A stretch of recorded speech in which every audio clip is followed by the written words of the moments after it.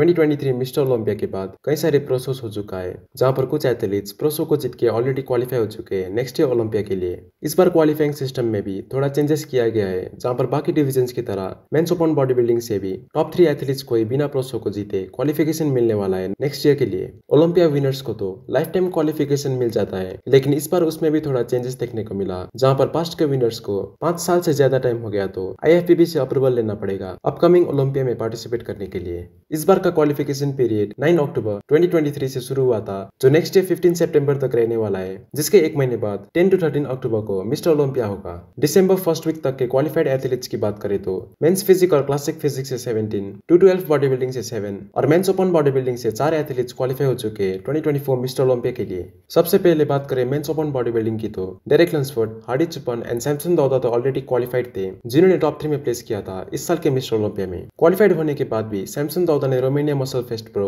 और पराग प्रो में कम्पीट किया, जहाँ पर इन दोनों ही शोज़ को उन्होंने कंप्लीट डोमिनेट किया था। इन तीनों के अलावा, अभी तक बस एक ही बॉडी बिल्डर प्रोसो को जीत के क्वालिफाई हुए, जिनका नाम है थियो लेग्रेर जिन्होंने रिसेंटली जापान प्रो को जीता है ट्वेंटी मिस्टर ओलंपिया में क्वालिफिकेशन पाने के लिए। टू ट्वेल्व बॉडी बिल्डिंग से भी अभी तक सेवन एथलीट्स क्वालिफाइड है, जिनमें से तीन body builders Keone Pearson Sean Clarida and Angel Calderon को तो ऑलरेडी क्वालिफिकेशन मिल चुका था, जो टॉप थ्री थे इस साल के टू ट्वेल्व ओलंपिया में। बाकी चार बॉडी बिल्डर्स की बात करें तो गुनवो किम जिन्होंने कोरिया प्रो को जीता है उसके बाद अहमद अस्करानी जिन्होंने Romania muscle fest pro and Prague pro को जीता है क्यूबा बुंडी, जिन्होंने बेन वीडियो नेचुरल प्रो को जीता है और वीटर पोटो जिन्होंने सेरो क्लासिक इंडिया या भारत प्रोसो को जीता है ट्वेंटी मिस्टर ओलंपिया में क्वालिफाई करने के लिए। क्लासिक फिजिक्स से भी इस साल का top three Chris Bumstead Ramon Dino and Urs Kalecinski जिन्होंने ओलंपिया के बाद Texas state pro and Prague pro को भी जीता है इन तीनों के अलावा 14 और एथलीट्स भी क्वालिफाई हो चुके हैं नेक्स्ट ईयर ओलंपिया के लिए। फैनी फुआडी जिन्होंने मुइस मसल न्यूजीलैंड प्रो को जीत के क्वालिफाई किया है। नेथनियल जोइनर ने हरिकेन प्रो से क्वालिफाई किया है। चेन गैंग ने Kim Juno South Korea pro से क्वालिफाई किया है। एंटोनी लॉथ ने लॉजिनिक स्पेन प्रो से क्वालिफाई किया है। एवर्सन कोस्टा ने muscle contest international Recife Brazil pro से क्वालिफाई किया है। डेमियन पैट्रिक ने अल्टीमेट वॉरियर कैलिफ़ोर्निया प्रो से क्वालिफाई किया है। जिनो बैंग ने कोरिया प्रो से क्वालिफाई किया है। वेस्ली विसर्स ने रोमेनिया मसल फेस्ट प्रो से क्वालिफाई किया है। हैंजिन सोई ने बेन वीडर नेचुरल्स यूएसए से क्वालिफाई किया है। लोगन फ्रैंकलिन ने सॉन रे हवाई प्रो से क्वालिफाई किया है। टेरेंस रफिन ने सेरू क्लासिक इंडिया या भारत प्रोसो से क्वालिफाई किया है। माइक समरफल ने battle of Bogota Colombia pro से क्वालिफाई किया है। डारियन सिरबाएव ने कजाकिस्तान प्रो से क्वालिफाई किया है। और रिसेंटली जे हुन पार्क ने ताइवान प्रो को जीत के क्वालिफाई किया है। 2024 क्लासिक फिजिक ओलंपिया के लिए। मेंस फिजिक्स से भी इस साल का top three Ryan Terry Brandon Hendrickson and Erin Banks के साथ 14 और एथलीट्स भी क्वालिफाई हो चुके हैं। 2024 मेंस फिजिक्स ओलंपिया के लिए। रिकार्डो क्रोकी ने ब्रिटिश चैंपियनशिप प्रो से क्वालिफाई किया है।